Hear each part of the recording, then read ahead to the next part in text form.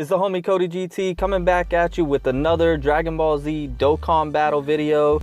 And in this video, it's just a quick update just to let you guys know what's going on and what's the new thing going, I guess you could say, and just update people that do not know or don't look into it too much like I do. And so what this video is gonna be all about is about the TUR version of LR Vegito Blue basically his in my last video i talked about how his Potara medals are coming on 1231 at least they should be dropping at that time. And so what this video is going to show is the requirements to obtain those medals.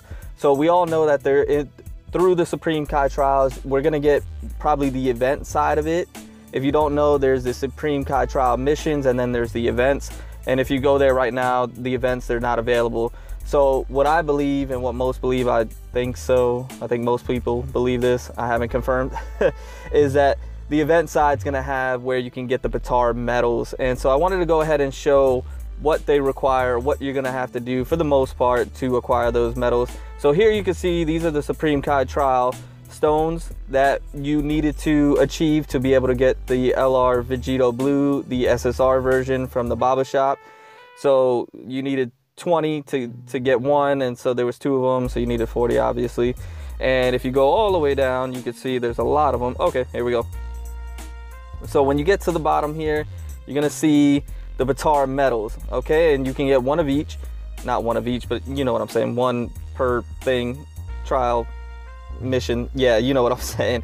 Uh, and so here you can see the specific requirements. So this one's clear stage with Vegito on your team, uh, must have the same character name. This one is clear stage with at least six characters possessing the link skill Saiyan warrior race.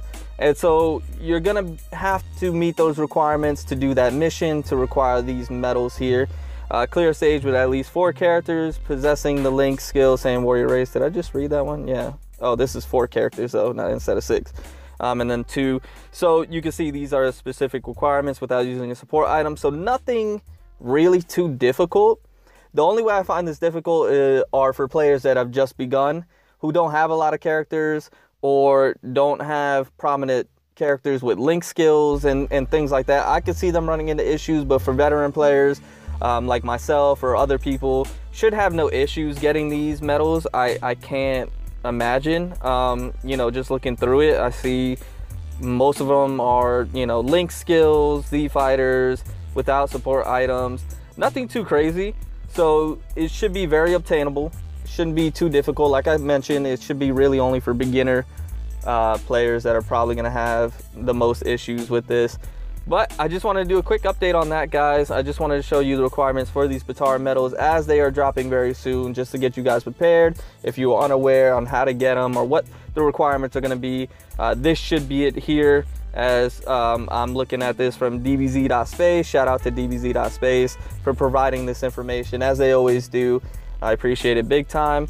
So quick update guys, nothing big. Next video I'm gonna be dropping is just a quick gameplay of the new uh, Super Stage 2, I believe it's called, for the Gohan, the STR one that just dropped. I did not, I, well, I don't have them. I dropped 50 stones on them. I did a quick multi. Didn't pull anything, I don't think. No, I didn't pull anything. And so uh, that's you know I may throw another 50 at it, but I'm not gonna go too hard. Honestly, his banner is not too intriguing to me. I think I mentioned that in my last video as well. Anyways, I'm rambling now. So I'll catch you guys in the next one. Like I said, quick gameplay on the Gohan video. This was a quick update. So I hope you guys enjoyed what you saw. If you did, think about hitting the like button, think about subscribing, all that good stuff. Um, it's your homie Cody GT, and I'm out.